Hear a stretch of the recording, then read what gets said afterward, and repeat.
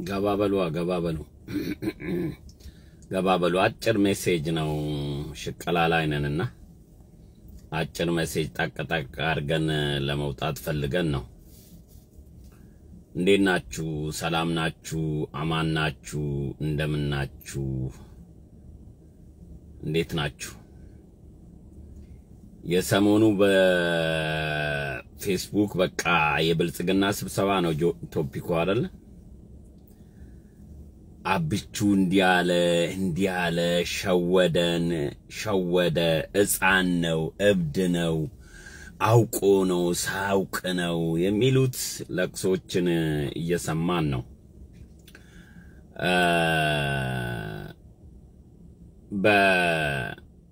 በአሁኑ ሰዓት ያለ ሁኔታ የአማራ ዘረኞች አማራን ሕዝብ እንደ ጠላት ከኢትዮጵያ ሕዝብ ጋር ሁሉ ለማባላት የተወሰነ ቡድን አለ። ይሄ ቡድን የአማራን ሕዝብ ስምና ካባ የለበሰ ከወያኔ በላይ አማራ እንዲጠፋ የሚፈልግ በአማራ የሚምል ግን አማራን እንዴት አርጌ ነው የምታደገው ሳይሆን እንዴት አርጌ ነው ጠላት የማበዛለት የሚል ቡድኖች ተፈጥሯል። መጀመሪያ የአብቹን እየዬዎች የሚያነሱት እንግዲህ አሁን አብዛኛው በእየዬ 360 ዙሪያ ያሉ ፖለቲከኞች ናቸው። አብቹን ቶፒካቸውም አብቹ ነው። ብልጽግና ፓርቲን በመሰረተበት ጊዜ አንድ ነገር ተናገረ።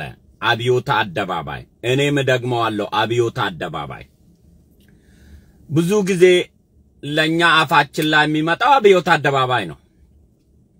በደርግ ዘመነ መንግስት ያደግነው እንደኔና እንደ አብይ አህመድ አብዮታ አደባባይ ብለን ያደግነው። መስቀል አደባባይን የሰሙት አሁን በወያኔ ዘመነ መንግስት ነው መስቀል አደባባይ መባል የጀመረው። መስቀል አደባባይ ቦታው ቢሆንም በእኛ ዘመን ስንጠራ እኔም ቢሆን አብዮት አደባባይ ነው የምለው። ቦታ አብዮት አደባባይ ስለነበረ በደርግ ዘመነ መንግስት ማለት ነው። በቶሎሳ ስሙን የምታቅሰው ዱሮ አንተ በቶሎሳ ስሙን አብረ በኖርክ ጊዜ በቶሎሳ የምታቅሰው ሰውየው ከጊዜ በኋላ ቂጤሳ ብሎ ስሙን ቢቀይር አንተ ሁልጊዜ አፍ ላይ የሚመጣው ቶሎሳ ነው። ምክንያቱም ያን ሰው በልጅነቱ ቶሎሳ ብለ እየጠራ ስላደግ ቂጤሳ የሚለውን ስም በዶኩሜንት ቢቀይር አንተ የምትጠራው ቶሎሳ ብለ ነው። አሁን እነ እየየ የፖለቲካ መንደሮች አብይ አህመድን በሶስት ነገር ይጠሩታል። አንዳንዴ ሕፃን ነው ይሉታል። ሕፃን ሰው እንዴት ይህንን ሁሉ ፖለቲከኛ ዘርሮ በላያቸው ላይ ይሄዳል? አይምሮ ችግር አለበት ይላሉ። አይምሮ ችግር ያለበት ሰው እንዴት እንደዚህ አይነት ፖለቲከኞችን ሰብስቦ ለዚህናል ብስጭት፣ ለዚህናል ንዴት፣ ለዚህናል ቁጭት ያላቸውን በሙሉ እያሸነፈ እንዴት የአእምሮ በሽተኛ ሰው ያደርጓል? ሆን ብሎ ነው ይላሉ። ደግሞ ሆን ብሎ ከሆነ ፖለቲካ ነው፣ ትክክል ነው። ሆን ብሎ ነው የሚሰራው። እኔ አምናለሁ። ፖለቲካ ለማሸነፍ ነው የምትታገለው። እናንተም አብይን መንግስተ ሰማያት የሚያስገባን ነገር ሳይሆን ለኢትዮጵያ ሕዝብ የምትሰብኩት በእናንተ አስተሳሰብ ፖለቲካ አሸንፋችሁ ቤተ መንግስት ለመግባት ነው። አልቻልነውም ከሆነ አትችሉትም። አልቻልነውም ከሆነ አትችሉትም ሰውየውን። ነገር ግን ለእኔ የሚመስለኝ እየየዎች አብይ አህመድ ለኦሮሙማ ፖለቲካ ጥቅም የዚህን ያህል ወደፊት ሄዶ ሰርቶ ከሆነ ለምንድን ነው እነ ጃርመሮ ጫካ ሆነው የሚለፉት? ለምንድን ነው እነ ጀዋር መሐመድ ከአብይ የተለዩት? ለምንድን ነው እነ መራራ ጉዲና እሱ የኦሮሞ መብት አልጠበቀም የሚሉት? እነ ጀዋር ቢመጡ አብይ አሁን የተወው ነገር ብዙ ነገር አለ ማለት ነው ለኦሮሞ የሚመልሱት። እናንተ ደግሞ እንደውም more አገሪቷን ኦሮሙማ አደረገ ትላላችሁ። ሌሎቹ የኦሮሞ ፖለቲከኞች ዘጠና percent የኦሮሞ ፖለቲከኞች አብይ ኦሮሞ የታገለበትን ትግል ውሃ ቸለሰበት እያሉ ነው የሚከሱት። ውሃ ቸለሰበት። የኦሮሞን ህዝብ ጥያቄ አንድም አልመለሰም ብሎ ነው። ግማሹ ከጫካ፣ ግማሹ በሚዲያ፣ ግማሹ ፖለቲካ ፓርቲ ለቅሷቸውን በየቀኑ እንደናንተ ሲያለቅሱ ነው የሚውሉት። maybe እናንተ የእነሱን ኦሮምኛ ስለማትሰሙ maybe እነሱ ደግሞ እናንተን ስለማያዳምጡ አብይ አህመድ ለአንድ ቡድን ነው መወገን ያለበት። እየዬዎች ኦሮሙማ አደረጋት ሀገሪቷን ትላላችሁ። እነሱ ደግሞ የኦሮሞን ፖለቲካ አንድም ሳይመልስ የነፍጠኛን ስርዓት ነው እሱ እያራመደ እየሄደ ነው የምትሉት። ታዲያ ይሄ ሰውዬ እኮ እንዴት አንድ ሰው ለአንደኛው እንኳን መልስ ሳይሆን ሁለቱም ጠላቶች እኩል ይከሱታል? ይሄ መመለስ ያለበት ጥያቄ ነው። ወይ ኦሮሞዎቹ ከአብይ ላይ እጃችሁን አንሱ፣ ወይ እናንተ ውሸታሞች ናችሁ እየየዎች እጃችሁን አንሱ። ይሄ ሰው ሁለት ሁለት በአንድ ሰው ሁለት ሁለት ሜዳ ውስጥ መጫወት አይችልም። ወይ ለኦሮሞዎቹ እያዳላ እየሰራ ነው፣ ወይ ደግሞ እናንተ የምታለቅሱላትን ኢትዮጵያ አዳልቶ እየሰራ ነው። ወይ ደግሞ ከሁለታችሁም አይደለም።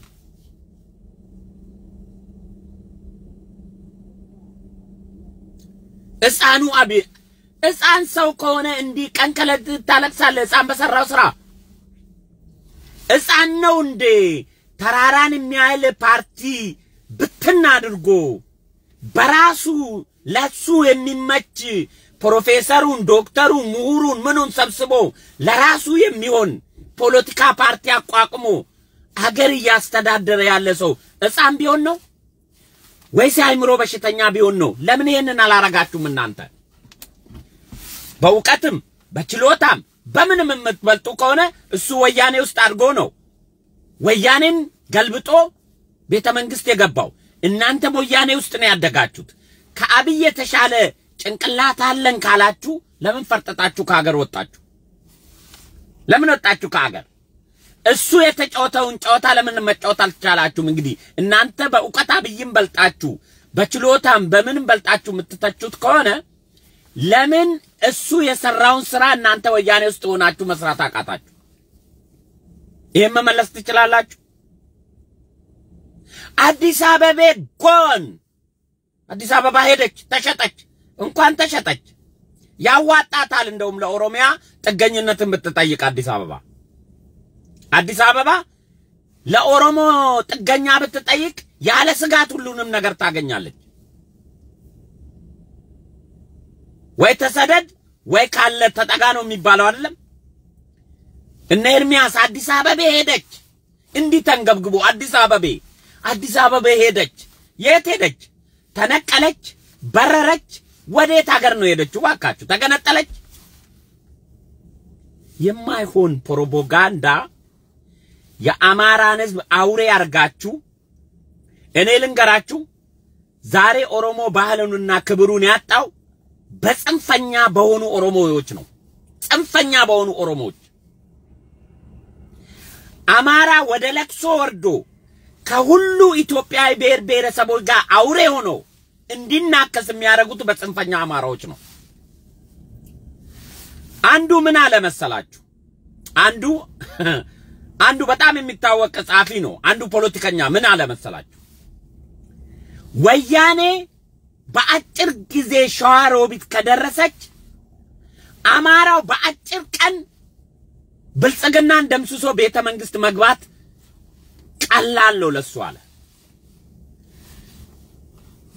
አንድ ምክር እመክራቸዋለሁ። አብዛኛው የብሔሩን ማንነቱን የሚወድ ኢትዮጵያ ውስጥ ያሉ ብሔሮች አብይ ስር ተሰልፈዋል። አብይ ስር ብሔሮችን ብሔረሰቦችን እውቅና ሰጥተ ተከባብረ አብረ ካልኖርክ የብሔር ብሔረሰቦችን ባህልና ማንነት እንዲጠፋ ከታገልክ ወያኔም አብይ አህመድም ጀዋርም ጃልመሮም ሞስጦፌም አፋርም ጋምቤላም አንድ ናቸው። የአማራ ኢሊት ይሄንን ሁሉ አስተሳሰብ ደምስሼ አሁን ብሔር ብሔረሰቦች የሚለውን ሐሳብ ጠልቼ አማራን ለብቻው ውጤታማ አደርጋለሁ ብለ አስበ ከሆነ አማራ መቀመጫና መሄጃ አሳጥተው በየቦታው ጠላት አድርገው ልታስበላው ካልሆነ በስተቀር ለአማራ ወገን ሆነ ልትታደገው እንደማችል በእርግጠኝነት እነግርሃለሁ። ይህንን ህዝብ የአብኑ የአብኑ አመራሮች አሁን በደንብ ነው የገባቸው። ያለንን ጠላት እንኳን አላሸነፍንም፣ ሌላ ጠላት ለመጀመር የሚታርኩ ዋልጌዎች ነው ያሏቸው። ያለንን ጠላት ወያኔ እንኳን ልንቋቋም አልቻልንም። አሁን ደግሞ ከኦሮሞ ጋር ሌላ ጦርነት እንጀምር እያሉ ነው። እነዚህ ሌላ ጦርነት እንጀምር የሚሉት ሰዎች ንፋስ ላይ ነው ያሉት እንጂ ምድር ላይ የሉም። በወያኔ ጦርነት ጊዜ ይጀመር እንውጋ፣ ትግራይን እንጨብጣለን ብሎ ሲያቅራሩ የነበሩ እነ ሞጣ ቀራኒዮ፣ እነ ዮሴፍና እነ ሀብታሙ አያሌ፣ እነ አበበ በለው እዛ በረሃ አልወረዱ፣ ውሃም አላቀበሉ። እዚሁ ንፋስ ላይ ነው ያሉት። አሁን ከህወሓት ጋር ከትግራይ ህዝብ ጋር ያለው የፖለቲካ ግጭት አማራው ሳያጠናቀቅ ከኦሮሞ ጋር ሁለተኛ ዙር ጦርነት እንዲገቡ ይፈልጋሉ፣ እንዲገባ ይፈልጋሉ። በአጭር ጊዜ ብልጽግና እንደምስሶ ቤተ መንግስት እንደሚገባ ነው እየሰበኩ ያሉት። ብልጽግና ማለት አብይ አህመድ እንዳይመስላችሁ።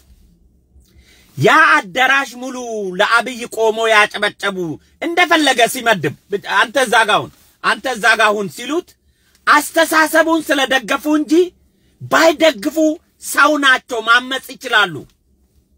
ሰው ናቸው፣ ማመጽ ይችላሉ። ከእናንተ በላይ ሰዎች ግን የአብይ አስተሳሰብ እዛ ቤት ያለ ተሰብሳቢ ገዢ ሐሳብ ስለሆነ እሱ የሚያራምደውን በጥርጣሬ ስለማይመለከቱት ያለውን አሚን ብሎ ያጨበጭቡለታል። ብብሽዬ አይደለም አይደለም ወይ? እናንተ እንደምትንቁት ከሆነ እናንተ እንደው አብይን እንደዚህ አጣጥላችሁ ከሆነ ወንድሜ አብዬው እንደ ማራዶናና እንደ ፔሌ ጢባ ጢቤ ተጫውቶ ነው ጠላቶቹ ላይ ጎል የሚያስገባው። ይሄንን ዕውቀቱን ተረዱት። ይሄንን ዕውቀቱን ተረዱት። እንኳን ዛሬ ትናንት እኮ እነ ዶክተር ቢንያም የወያኔው እነ ተፈራ ዋሉዋ አብሮ የነበሩት እኮ አብይ ማንነቱ ሳይታወቅ እኮ መስክሯል።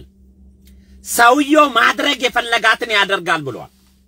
እስካሁን አብይ ማድረግ አደርጋለሁ ያላቸውን ሳያደርግ ያልተራመደ ጠላቶቹን ቀስ እያለ ጆሮ እየያዘ እያቆነጠጠ እያቀፈም ሸኝቷል። አሁንም ወደፊት ይራመዳል። ወደፊት ይራመዳል። አሁንም ጥንቃቄ አድርጉ። አማራን ከሁሉ ህዝብ ጋር አባልታችሁ ልታሸንፉ ሳትሆን ልታስበሉ ካልሆነ በስተቀር ይሄንን ህዝብ አውሬ አድርጋችሁ ከሌላ ማህበረሰብ ጋር አብሮ እንዳይኖር የማድረግ ካልሆነ በስተቀር አማራን እናንተ እንደምትሉት ውጤታማ ልታደርጉት አትችሉ አትችሉም። የአብን አመራሮችን በዚህ አጋጣሚ ላደንቅ እፈልጋለሁ። በዚህ ወቅት አሉ በዚህ ወቅት የአማራ ፖለቲካ ውስጥ መሳተፍ ያክል የሚከብድ ቦታ የለም ነው ያሉት። በዚህ ወቅት የአማራ ፖለቲከኛ ውስጥ መሳተፍ ያክል የሚከብድ ምንም እዚህ ምድር ላይ የለም ነው ያሉት። እውነታቸውን። ምክንያቱም አማራ ጠላቱንም ወገኑንም መለየት አትችልም። በዚህ ሰዓት አማርኛ ከተናገርክ ሁሉም አማራ ነው። አማርኛ መናገር ነው የሚያስፈልግ። accent ያለው አማርኛ በደንብ ከተናገርክ ሁሉም ያጨበጭብልሃል። ጠላትንና ወገንን መለየት የማትችል አማራ አማራ ያለ ሁሉ አማራ ነው ብለህ አብረህ እጅ ካጨበጨብክ ገደል መሄድህና ገደል መግባትህን በሬ ሳሩን አይተህ ገደሉን ሳታይ የሚለው ያንኑ የአማራን ተረት ቆም ብለህ እንድታስብ ነው የምፈልገው። እኔ እኔ አማራ ህዝብ የአንዱ የሀገሬ ህዝቦች ናቸው። እንደ ኦሮሞ ነው የሚሰማን። የኦሮሞ ፖለቲከኞች ለህዝባቸው ቢታገሉም ብዙ የኦሮሞ ባህልና ማንነት አቆሽሿል፣ ሉዝ አድርገዋል። ያንን የኦሮሞ ባህልና ማንነት አሁን አንድ ቆይ ይሄን ልጅ ላሰማችሁ። አሁን ይሄ ኦሮሞ ሳይሆን አውሬ ነው። ላሰማችሁ። ይሄ አሁን የሆነ ግን ባንዲራ እንግዲህ ኦሮሞ ሊሆን ይችላል። ያው ይሄን ስሙት። አማራን አንገት ንቅላ ነው የሚለው። ይሄ ኦሮሞ ሊሆን ተውና የኦሮሞ ከብት መሆን አይችልም። እንኳን ኦሮሞ ሊሆን የኦሮሞ ከብት ቀንድ ያለው ከብት ሊሆን አይችልም። እኔ ኦሮሞ ራሱን የሚወድ ከሆነ እንደዚህ አይነቱን ነው ከውስጡ ማጥፋት ያለበት። ይሄ ኦሮሞ እንዲጠላ የሚያደርግ እንጂ ለኦሮሞ የሚታገል አይደለም። ይሄ አስተሳሰብ ኦሮሞ ሰው አራጅ አይደለም። ኦሮሞ ሰው ጠልታ አይደለም። ኦሮሞ ሰው አቃፊ ሰው የሚያሳድግ ህዝብ እንጂ ምስኪን ማህበረሰብ እየፈለገ እረድ ብሎ በኦሮሞ ስም ከተናገረ እሱ ጸረ ኦሮሞ ነው። ኦሮሞ መጀመሪያ ጠላቴ ብሎ ማጥፋት ካለበት እንደዚህ አይነት አስተሳሰቦችን ነው። እንደዚህ አነጋጠ ወጥ አስተሳሰቦች እንደዚህ አነጋጠ ወጥ አስተሳሰቦች ጸረ ኦሮሞነት እንጂ የኦሮሞ ታጋይ ሊያስብላቸው አይችልም።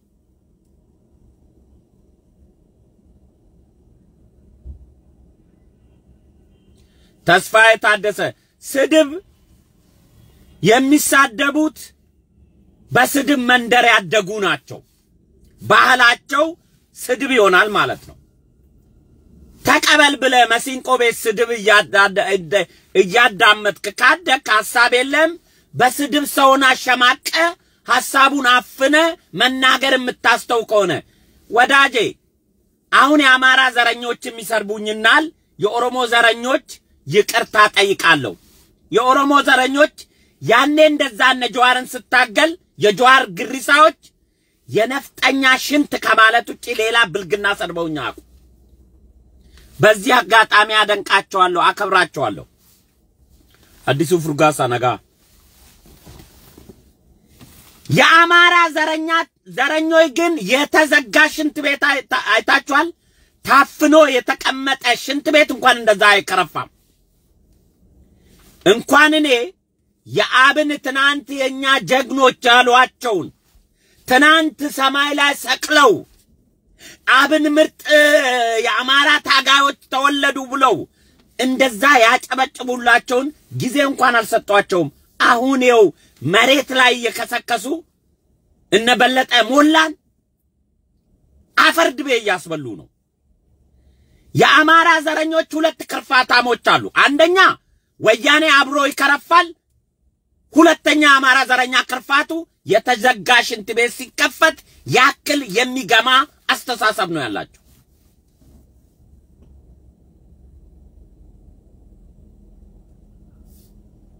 አስተሳሰብ ነው ያላቸው። ይሄ የስድብ ክርፋታቸው ለእኔ የቅንጣት ናህል አይሞርደኝም፣ አይሞቀኝም። ምክንያቱም አማራ ተቆጥሮ ለነዚህ ለሚሰድቡኝ ሰዎች የተሰጠ ከብት አይደለም።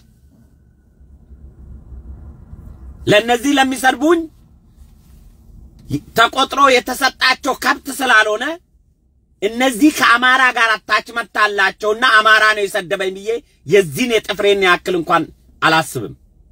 ጋጠወጥ በሽተኛ አስተሳሰብ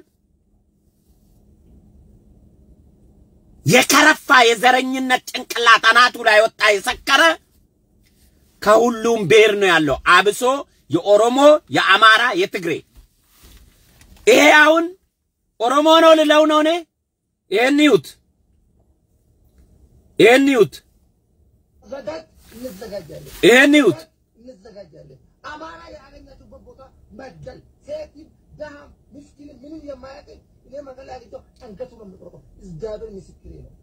ይህንን አሁን ያለበት ሀገር ጤነኛ አማራ ወይም ጤነኛ ኦሮሞ ይሄንን ባለበት ሀገር በዚህ አንገት ቁረጡ ብሎ ባሰራጨው ቪዲዮ ብቻ በሕግ መጠየቅ ይቻል ነበረ። አገሩ የሚኖርበት ታውቁ።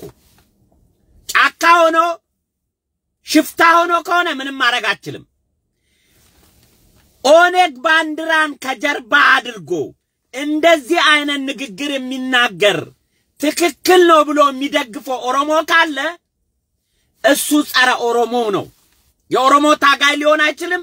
የኦሮሞ ጠላት ነው ሊሆን የሚችለው። በዚሁ ተመሳሳይ አማራን ከሌሎች ህዝቦች ጋር የሚያባላ ንግግር እንደነ ሞጣ ቀራኒዮ ክርፋት የተዘጋ ሽንት ቤት እንደተከፈተ የሚከረፉ እነሱ ጸረ አማራ ናቸው እንጂ የአማራ ታጋይ ሊሆኑ አይችሉም አይችሉም።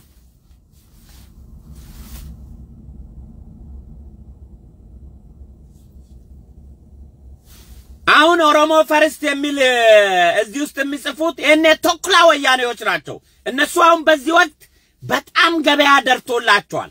የአማራንና የኦሮሞን ፖለቲካ እንዴት አድርገን አቀጣጥለን እሳት ጨምረንበት ወደ ጥል እናስገባለን። አሁን ዩኒቨርሲቲ ውስጥ ጀምረዋል። ዩኒቨርሲቲ ውስጥ ብጥብጥ እንዲነሳ የሚፈልጉት የሶስቱ ጽንፈኞች ናቸው። የኦሮሞ፣ የአማራ፣ የትግሬ ጽንፈኞች ዩኒቨርሲቲ ውስጥ ልጆቹን ሊያባሉ ቀን ከሌሊት እየሰሩ ያሉት የሶስቱ ጽንፈኞች ናቸው። ወያኔ ኦሮሞና አማራ ከተጋጨ እኔ ከሞት ድናለሁ ብላ ነው። ከመቃብር አፋፍ ልመለስ እችላለሁ ብላ ነው እሳት የምታነዳው።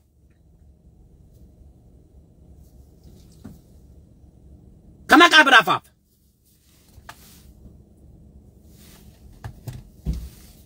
ስለዚህ እኔ አብቹ በቃ አትችሉትም። እኔ ልንገራችሁ አሁን አትችሉትም። አሁን እዛ ያለ የብልጽግና አመራር የአብይ ምንጣፍ ጎታች ነው ይላሉ። እናንተም ብትመጡ የአብይ ምንጣፍ ጎታች ነው የምትሆኑ። ልንገራችሁ፣ አትቷኮሱም፣ አትቷኮሱም።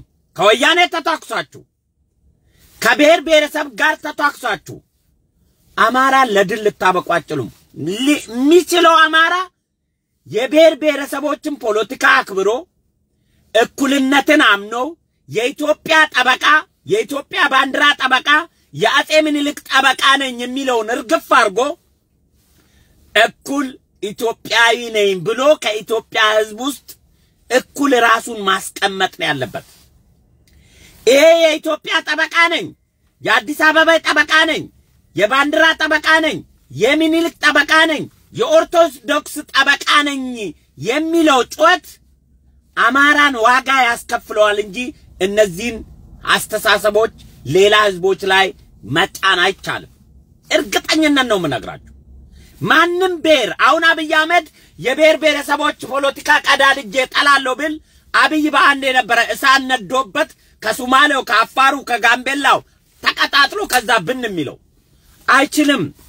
የብሔር ብሔረሰቦች አስተሳሰብ እንደተከበረ ሆኖ በጋራ እንዴት እንደምንኖር የፖለቲካ ስልት እንጂ የምትቀጠለው ብሔር ብሔረሰቦች የሚባል ክልል የሚባል አጥፍቼ እንደ ዱሮ ራስ ገዛ አድርጌ ቀጥላለሁ አይቻልም። እሱ ተዘሏል። already በመጥፎም ይሁን በጥሩ መሬት ላይ መሰረት የያዘ ነገር ቤት ሰርቶ የተቀመጠውን አካል ቤትን አጥፋና ተቀላቀል ብትለው አይቻልም። አሁንም በአስተሳሰብ መልካምነትን በጋራ መኖርህን አሳይቶ በፍቃደኝነት አብሮ መኖርን ይሄ ክልል ምናምን የሚለውን ማፍረስ የሚፈቀደው ህዝቦች ሲተማመኑ እንጂ የሆነ ፖለቲካ ፓርቲ በሚያንጸባርገው የፖለቲካ ርዕዮተ ዓለም ያንን ማምጣት አይቻልም። አብይም እሱን ህገ መንግስት ቅድድድድድ አድርጎ የኦሮሞ የአማራ አክቲቪስት ስለጠየቀ በቃ ሱማሌ ዞር በል አፋር አያስመለከትም ኢትዮጵያ አንድ ነች ሊል አይችልም። ኢትዮጵያን ለማፍረስ ሲፈልግ ብቻ ነው ያንን ማድረግ የሚችለው አብይ አህመድ። የሱ ፍላጎት ብቻ አይደለም። እዛ ጋር ያሉ ብሔሮች እጅ አውጡ ብትላቸው ወይም ለኢትዮጵያ ሕዝብ ድምፅ ስጡ ብትላቸው ብሔር ብሔረሰቦች ማንነታቸውን አሁን እንዲሰረዝባቸው አይፈልጉም አይፈልጉም። ማንም አይፈልግም። የአማራ አክቲቪስት ያልገባው ይሄንን ነው። አሁን ወደድክም ጠላህም እንደ ብሔር ራስህን ቆጥረህ ከኢትዮጵያ ብሔር ብሔረሰቦች ጋር በመጠን ተሰፍተ በአንተ መጠን የምትለብሰው ልብስ ለብሰ የብልጽግና የኦርቶዶክስም የኢትዮጵያ ባንዲራም የሚኒሊክም የምንም እኔ ነኝ ጠበቃ ብለህ ከመጮህ አቁመ ከሌሎች ብሔሮች ጋር ተስማምተ የምትኖርበትን የፖለቲካ ስልት ነው ለአማራ ህዝብ ይዘህ መምጣት ያለብህ እንጂ አሁን አንተ በምታስበው ሱማሌ ይጥፋ፣ አፋር ይጥፋ፣ ጋምቤላ ይጥፋ፣ ብሔር ይጥፋ፣ ቋንቋ ይጥፋ ብለህ በአማርኛ national ቋንቋ ነው። ኢትዮጵያ አንድ ሀገር ነች ብለህ አትችልም፣ አይቻልም። ከዛ ውጪም አይ አማራ የሌለበት ነው ክልል የተከለለው። ክልል ወለጋ ነው፣ ደብረ ብርሃን ነው፣ አርሲ ነው የምትለው። እሱም አይሰራም፣ አትችልም። አቅሙም ጉልበቱም የለም ያንን ለማስመለስ። እልቂት ለመፍጠር ካልሆነ በስተቀር ከሁሉ ጋር እንኳን ወደ ኦሮሚያ ክልል ሰውየው እንዳለ ወያኔዎች በአንድ በአስራ አምስት ቀን ሸዋሮቢት ከደረሱ እኛ ምኒልክ ቤተ መንግስት ገብተን ብልጽግናን ለማስወገድ ሳምንት አይፈጅብንም የሚለው ቀረርቶ አማራ ጠላት የሆነ ሰው ነው ይህን ስብከት የሚሰብከው እንጂ አማራ የሆነ እውነት ለህዝቦቹ የሚያዝን ከሆነ አሁን ይህን ጦርነት ብናስጀምር እንዳለው በሳምንት ሮጠን ምኒልክ ቤተ መንግስት ገብተን በሳምንት አብይን አስወግደን እኛ ኢትዮጵያ ላይ ስልጣን ይዘን ስልጣን ልንገዛ እንችላለን ብሎ ራሱን ይጠይቃል።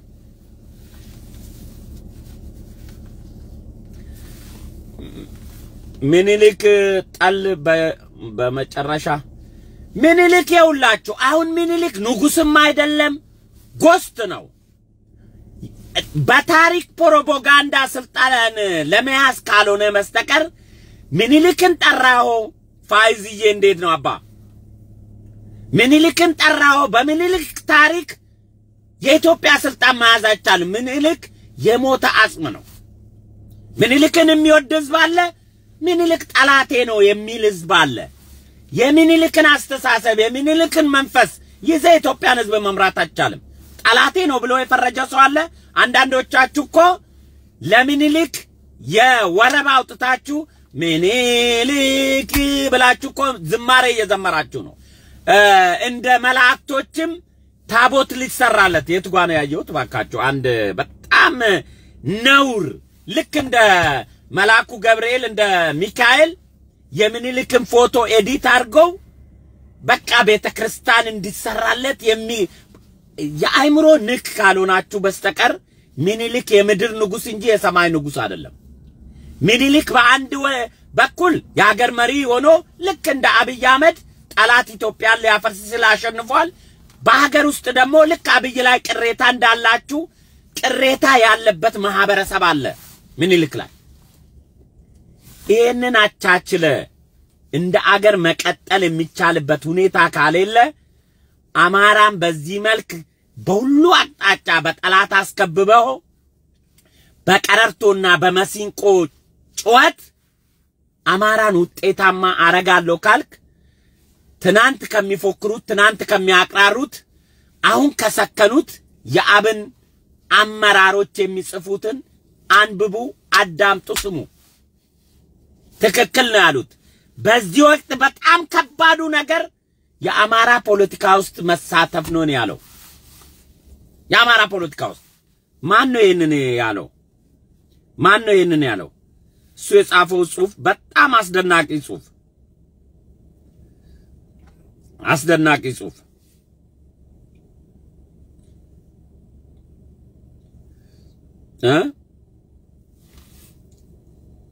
ጋሻው መርሻ ነው ያለው። ጋሻው መርሻ የአብኑ የጋሻው መርሻ ይህንን እውነት በዚህ መልክ አስቀምጦታል። በአሁኑ ወቅት እጅግ አደገኛ ከሆኑ ጉዳዮች ውስጥ አንዱ የአማራ ፖለቲካ ውስጥ መሳተፍ ነው ነው ያለው። በአማራ ፖለቲካ ውስጥ ከጥንካሬው ይልቅ ድክመቱን 24 ሰዓት ለሰባት ቀናት ሲፈልግ የሚውል የሚያድር fault finder ይበዛበታል አለ። መከባበር የራቀው ፖለቲከኞች ማዋከብ ያልተረጋ- ተረጋግቶ እንዲሰሩ እንዳያስብ የሚያደርግ ብሎ ተንትኖታል። አንብቡት እናንተ። ይሄ ትክክለኛ ነው።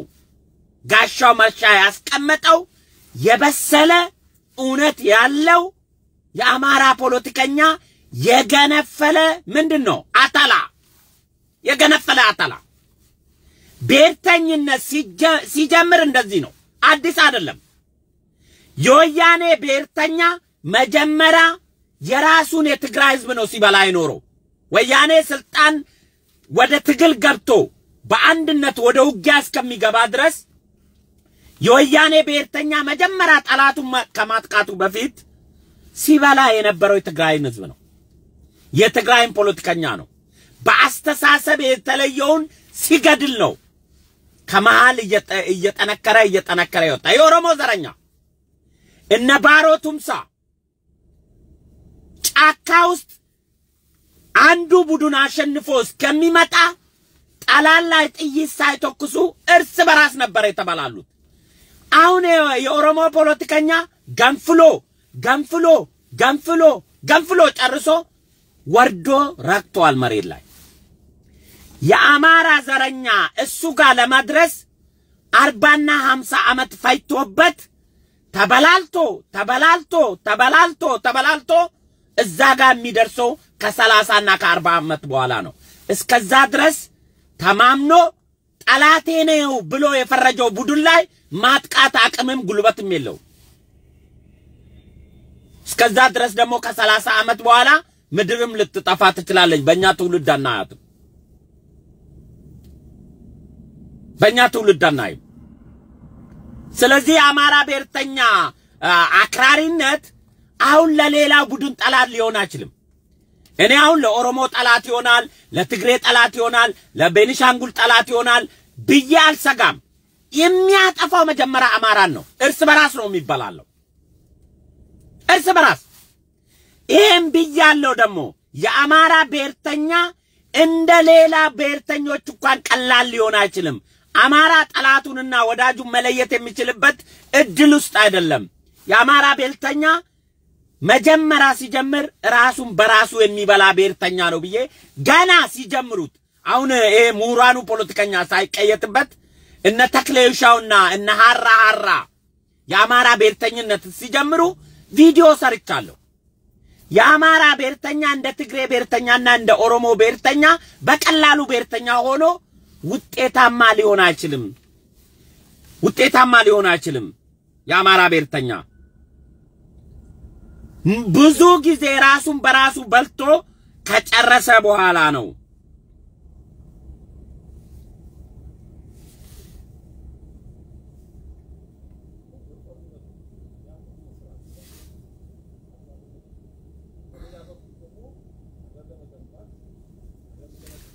ገባችሁ?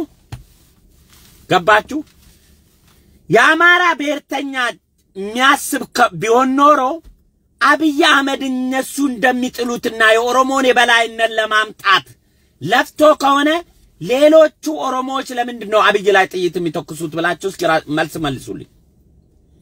ለስልጣን ጥቅም ነው ብለው ነው አብይ ላይ ሌሎቹ ፖለቲከኞች ልዩነት ያላቸው? እነሱ ቢመጡ እኮ ከዚህ ከፍ ያለ ጥያቄ እኮ ነው የሚጠይቁት። አብይ ቢወርድ መቼም ኦሮሞን አስወግደ ኢትዮጵያን አገር ማድረግ እችላለሁ ብለህ ታስባለህ አልልም ካልቃዠ በስተቀር። ነገር ግን የኦሮሞ ፖለቲከኞችን ኢትዮጵያ ፖለቲካ ውስጥ አሳትፌ መብት ሰጥቼ መብቴን አግኝቶ ጨፍልቀ ላዩ ላይ ቁጭ ብለህ እንደ ወያኔ በጉልበት ልትገዛው ካልቻልክ በስተቀር የኦሮሞ ፖለቲከኛ ጋር ተደራድረህ ሰጥተህ ለመቀበል አብይ ከሚያቀርብልህ የድርድር ማዕቀፍ በታች ይዞ አይመጡም፣ ከፍ ብለው ነው የሚመጡት። አብይ ከሚያቀርባቸው የኦሮሞን ጥያቄ ከሌሎች ብሔረሰቦች ጋር የኦሮሞን ጥያቄ ይዞ ከሚቀርበው ድርድር በታች ይዞ አይመጡም። ከዚህ ሁለት እጥፍ ሶስት እጥፍ ነው ይዞ የሚመጡት። የኦሮሞ ብሔርተኞች። በእርግጠኝነት ነው የምነግርህ። የኦሮሞ ብሔርተኛ የምን አዲስ አበባ መደራደር ነው? አዲስ አበባ ኦሮሚያ መሬት ውስጥ ነው ያለችው። በኦሮሚያ እንደ አንድ ከተማ ትተዳደራለች። እንደ ባህር ዳር የባህር ዳር ዋና ከተማ የአማራ ዋና ከተማ ባህር ዳር ነው። የኔም ዋና ከተማ አዲስ አበባ ነው። በሆነ አጋጣሚ የኔ ክልል ውስጥ ነው ያረፈው። ፌዴራል መንግስት ተከራይቶ ነው የሚኖረው እኮ ነው የሚሉት የኦሮሞ ፖለቲከኞች። ከአብይ የበለጠ ከፍ ያለ ጥያቄ እንጂ ያላቸው አብይ እነዚህን ጥያቄዎች ሚስ አርጎብናል። ሲያምር ይቀር የሚቀረው እኮ ነገርኩ እኮ በጉልበት ያንን ልታስመልስ የሚችልበት አቅም የለህም እኮ ነው የምልህ። አሁን እኔ አሁን እኔን በአማረኝም አላማረኝም ሆኗል ሆኗል ሆኗል። አሁን ብታለቅስም ብትንጫጫም አብይ ማድረግ ያለባቸውን ፖይንቶች እያደረገ ነው የመጣው። ምንም ሕፃኑ አብይ ብትለው እብድ አብይ ብትለው የሆነ ነገር ብትለው ስልጣን ፈላጊ ብትለውም አብይ ሰባት ሜትር ወደ ታች ከተቀበረ ሰባት ሜትር ወደ ላይ እንደሚዘል አብሮት የነበሩ ወገኖቹም ጠላቶቹም ተናግሯል። ይሄን ደግሞ ሰውየው እያደረገ ነው የመጣው።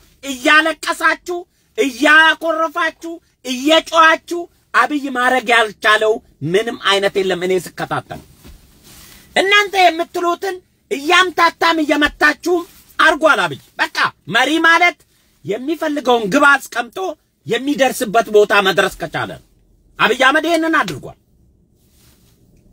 ይሄን አድርጓል።